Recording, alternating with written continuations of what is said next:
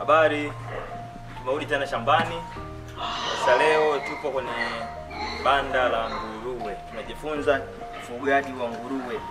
Cha kwanza, kama unavyoona mposimama hapa kwenye banda lolote la nguruwe, hiki ni kitu cha kwanza cha msingi, inaitwa biosecurity, ambayo nasema lazima uchove miguu yako kwenye maji yenye dawa. Kama unavyoona dudu lokufa, haya maji ni yana dawa, yana sumu. Kuna dudu wote wamekufa yana sumu. Kwa hiyo lazima ili tusafishe viatu vyetu, lazima tuwe na buti za shamba. Buti za shamba ni muhimu sana, na hii ni dawa ambayo tumetumia kuwekea kusafishia hapo chini kwa ajili ya kusafishia miguu yetu. So karibuni sana tuweze kujifunza. Leo sitaongea sana, nitaonyesha tu wanyama ambao tunao mweze kuona na nyie mweze kuona aina gani ya nyama tunawafuga. Haya nyama yetu ni wa kisasa sana. Hili shamba letu la wafugaji wa nguruwe ni shamba la uzalishaji wa mbegu bora za nguruwe.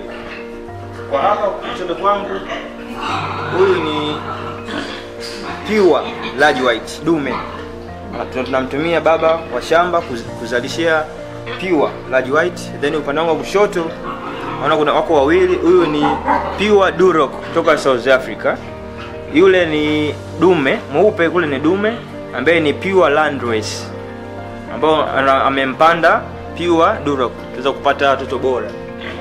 Then ukija huku naona kuna mama ambaye ana mimba, huyo anakaribia kuzaa, na hiki chumba tutabidi kuendelea, tuja kuelezana kwa nini yuko hapo. And then hapa unaweza kuona ni majike majike yetu ya shamba ambayo yana mimba yamepandwa na dume letu ambayo ni pure landrace pure, pia large white amepanda hawa. Na hawa ni hybrid. Kama unavyoona ni shamba letu lipo Kibaha linahusiana na kufuga nguruwe kwa kisasa. Tulikuwa tunazalisha mbegu kwa ajili ya wakulima. Tutazidi kwenda huko chini. Hapa tunaona madume ambayo tumezalisha shambani, madume ya kisasa kabisa. Haya, hybrid hizi hawako tayari kwenda kuzalisha, wako tayari kwenda kwa wafugaji wetu wote ambao wanafuga kienyeji, wanatafuta madume. Dume moja ni sawasawa na uzao wako wa shamba lote. Kwa hiyo ukipata dume moja, maanisha umebadilisha uzao mzima wa shamba lako. Na ukiangalia um, jinsi walivyo wana miezi sita mpaka hapo walipo. Kwa hiyo ukiona ukuaji wao ni wa aina gani, ni mkubwa sana. Na huku pia ni moja ya jike letu ambalo lina mimba limepandwa. Umeona kuwa wazuri? Yes, ndio na tunategemea pia naye ndio kutuzalishia watoto wazuri sana wa mbegu. Shuka tena huko chini. Unaona madume yetu mengine tena haya. Duro haya. Unaona? Kosi tuna madume yako tayari yako tayari kwa ajili kwenda kwa wakulima yoyote ambaye yanawahitaji kwa ajili ya kuboresha shamba lake. Na dume moja linabadilisha uzao wako wote wa shamba zima. Hawa wanaweza kupanda majike hata 25 hata 50 kwenye shamba lako. Kwa unahitaji dume moja tu kukubadilishia uzao mzima.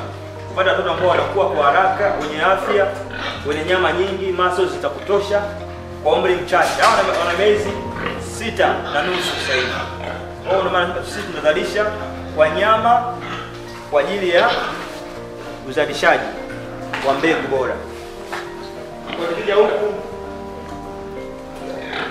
Unaweza kuona hawa ni majike yetu ambayo tunayaandaa, ni hybrid majike, kuja kuyaandaa kuja kupandwa na madume tuweza kupata mbegu bora. So karibuni sana kwenye shamba letu. Bado, bado ni wadogo, wana miezi mitano, bado wanazidi, wanazidi kukua na tuna expect tutaona kupata watoto wazuri baadaye. Yes, karibuni sana Mulap Investment Company. Tupo Kibaha, tupo Kibaha, mkoa wa Pwani, na mimi ni mmoja wa director kama mmeona video zetu nyingine, na sisi tunadili na ufugaji wa aina zote za wanyama wote na kilimo cha mazao yote. Hawa pia ni majike, ma- madume hawa tuna expect, ila madume ni wa- wadogo. Kama kuna mkulima ambaye anahitaji, tunamkaribisha tunawauza. Hawa ni wadogo kulinganisha na wale ambao umeweza kuwaona. Huu ni mzani ambao tunaotumia kupima wanyama, kupima kilo zao. Kwa kabla tunamuuzia mteja yeyote, tunapima kilo kuweza kujua nyama ana kilo ngapi, amefikisha hizo kilo katika umri gani na miezi mingapi. Sio, karibuni sana, asanteni sana.